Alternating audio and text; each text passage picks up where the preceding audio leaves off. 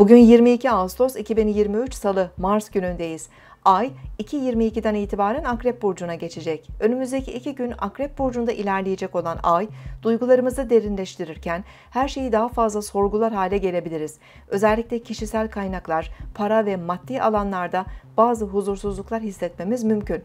İlişkilerimizin maddi yönlerinde ve paylaşımlarda dengeyi korumakta zorlanabiliriz. Öğle saatlerinde Ay, Balık burcundaki Satürn'e üçgen görünüm yapacak. Ciddi konuları düşünebilir, olgun yaştaki tecrübeli kişilerle de fikir paylaşımları yapabiliriz. Kariyer gibi konuları planlamak ve bilgi toplamak için de bu saatleri değerlendirebiliriz. Aslan burcunda gerileyen Venüs, Boğa burcundaki Jüpiter arasındaki dik açı devam ediyor.